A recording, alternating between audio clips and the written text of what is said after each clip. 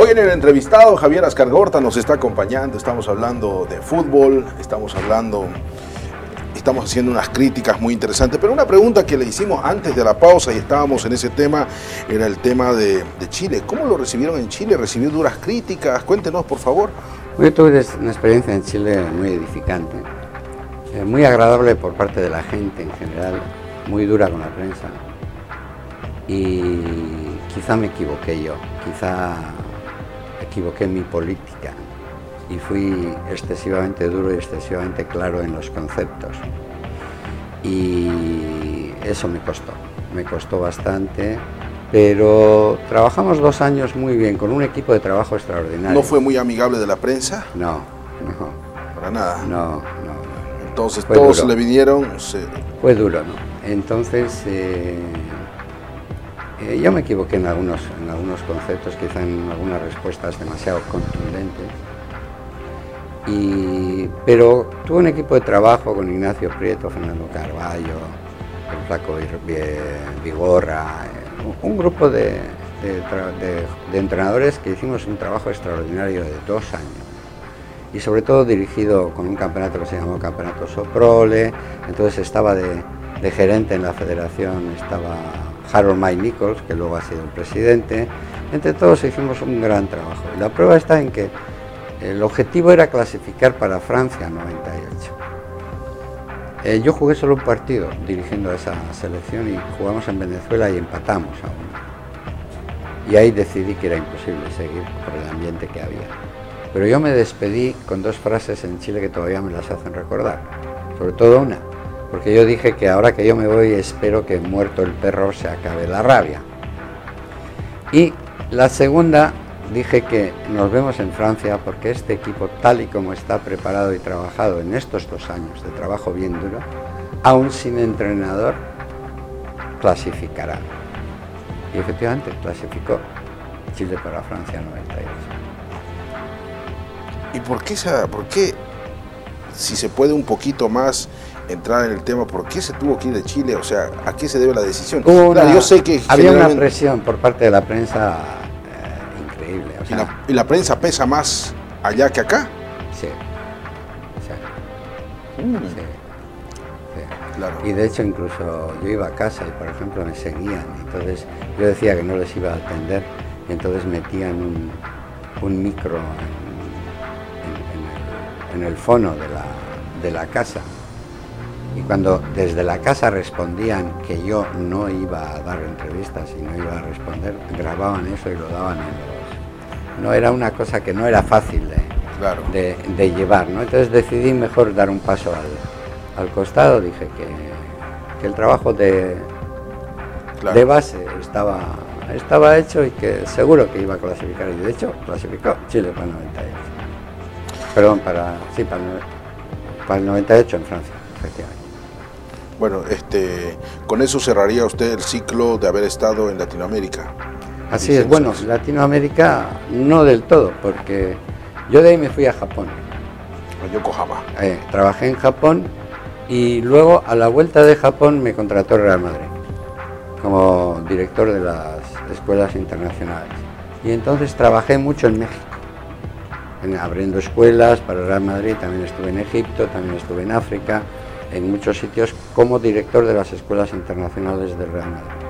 Y sobre todo en México, abrimos escuelas en DF, abrimos escuelas en Monterrey, en Puebla, y ahí entonces establecí una relación con equipos mexicanos, sobre todo con Pachuca, donde ahí estaba Carlos Truco además, y entonces las Chivas de Guadalajara me hicieron eh, una propuesta para para firmar como... Uno de los mejores equipos de México, los Chivas. Sí, además de un potencial y al que yo le llevo siempre... haber entrenado a Chivas, aunque sea unos meses, te marca, porque es un equipo con... Un, lo que pasa es que tiene un nombre en la dirección que es un genio, pero como genio, a veces el límite, la raya está en un lado o está en el otro, que es Jorge Vergara. Y entonces tuvimos pues nuestra... El dueño del equipo. El dueño del equipo. Tuvimos nuestras estos y volví otra vez al Real Madrid. Y del Real Madrid me mandaron a China. Y ahí estuve en el Beijing One, en Pekín. Y ahí realizamos un trabajo de formación de un equipo que posteriormente al año siguiente fue campeón de la Liga China y que en este momento siempre pelea por los primeros, por los primeros puestos. ¿no? Pero fue un trabajo también eh, que me envió Emilio Utragueño con Jorge Valdano, entonces que estaban con Florentino Pérez y fue un trabajo también muy bonito. Usted tiene una estrecha relación con el Real Madrid entonces. Eh... No, tuve en, esa, en ese momento porque Butragueño y Valdano siempre confiaron en mí y sobre todo para estos proyectos de formación, formación de jóvenes, que creo que ha sido, a pesar de que a mí se me ha conocido más por la selección, por el proceso del 93 y en el 94 en el Mundial, y también he dirigido en primera división en, España equipos como el Español, el Valladolid, Tenerife, Sevilla, siempre en primera división, lo que a mí realmente me, me, gusta y escribo y tengo planes y tengo cosas mm, para publicar es sobre el trabajo de formación de jóvenes. E, ese es su fuerte, su pasión. Podríamos decir que sí, es lo que más me gusta hacer. Profesor, ¿para usted Bolivia fue el éxito en su carrera? ¿Qué significa para su carrera? Yo creo que, a ver, Bolivia, eh, para mi carrera eh, fue un, un éxito en cuanto a nombre internacional. Es decir, yo ya había entrenado ocho años en la primera división en España cuando vine aquí.